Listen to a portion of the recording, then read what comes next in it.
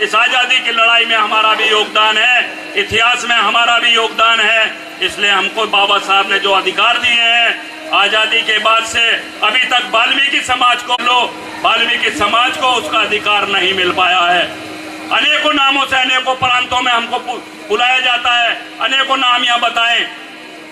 मैं मान्य स्वरूप देने का काम आप कराने के आज ऐलान करके जाएँ अपनी सांसद निधि से, ऐसे हम उम्मीद करते हैं और राजनाथ सिंह जी से भी मांग करेंगे कि उनकी स्मृति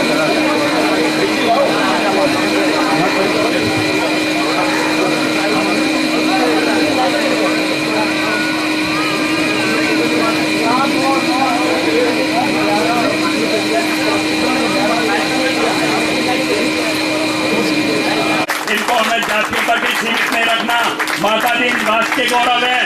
केवल वाल्मीकि समाज के गौरव नहीं है। अंबेडकर जी राष्ट्र के गौरव है। भगवान वाल्मीकि जी ने रामायण सभी समाज को जोड़ने का काम, प्रदीप जी, तमाम हम सब लोग मिलकर कर रहे हैं।